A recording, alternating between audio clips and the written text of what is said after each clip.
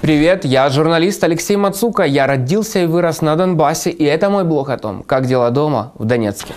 Более 400 тысяч детей на Донбассе живут в постоянной угрозе пострадать из-за обстрелов или мин. С начала 2020 года жертвами обстрелов стали 10 детей. Только за первую неделю мая зафиксировано было 6 случаев. И это вдвое больше по сравнению с аналогичным периодом 2019 года. Такие данные озвучили в детском фонде ООН ЮНИСЕФ.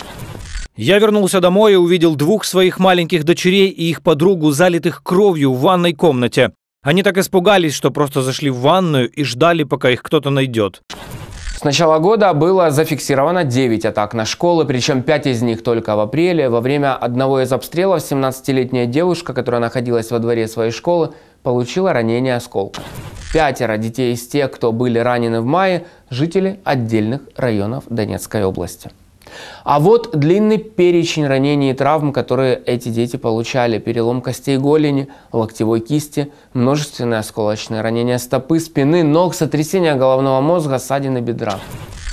Подробности произошедшего мы, украинские журналисты, пока можем узнать лишь от независимых наблюдателей ОБСЕ. А вот медработники в двух больницах Донецка отказались говорить с наблюдателями о жертвах среди гражданского населения, потому что им не разрешает группировка ДНР. Как я уже говорил ранее в своих блогах, независимо от того, кто стрелял, он должен понести наказание за нарушение главного правила войны. Жилые кварталы и тем более территории школ и детских садов всегда должны быть островками безопасности для мирных жителей. Но на Донбассе жители прифронтовой территории по-прежнему живут в напряжении и долгом стрессе. К военной опасности прибавились переживания и сложности из-за эпидемии коронавируса. Возмущает, что дети и семьи на востоке Украины не только вынуждены жить в условиях суровых ограничительных мер, как и другие семьи по всей Европе, но также испытывают постоянную угрозу возможных обстрелов. После более чем шести лет конфликта на востоке Украины дети и семьи остро нуждаются в мире. Мы призываем все стороны соблюдать договоренности о прекращении огня. Действительно, поражает то, что прошло 6 лет, и, казалось бы, горячая фаза на линии фронта должна закончиться. Но нет. Все равно мы слышим о жертвах среди мирных граждан.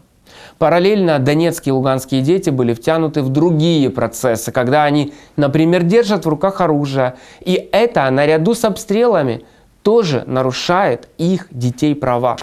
Если в 14-15 годах фотографиями плачущих детей пророссийская пропаганда иллюстрировала призыв жителей Донбасса к вступлению в так называемое народное ополчение, то сегодня детские лица улыбаются с плакатов под названием «Я родился в ДНР», они, дети, это материал, из которого лепят новых патриотов, новых граждан непризнанных республик.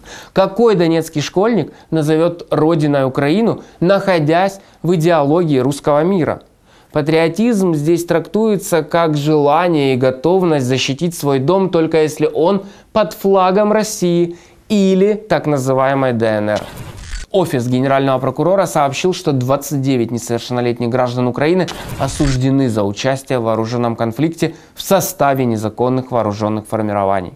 По данным следствия, главы незаконных вооруженных формирований, начиная с 2014 года, массово привлекали несовершеннолетних в Ордло к участию в боевых действиях против подразделений украинской армии и других военных формирований. В 2014-2016 годах особенно часто можно было встретить в сети кадры, как группировки в игровой форме обучают детей военному делу, разрешают пострелять из боевого оружия. Сегодня в ЛДНР стараются уже меньше показывать такого видеоряда. Я и дальше буду следить за ситуацией дома в Донецке, а вы подписывайтесь на телеканал Дом во всех социальных сетях. Сегодня на этом все. До свидания.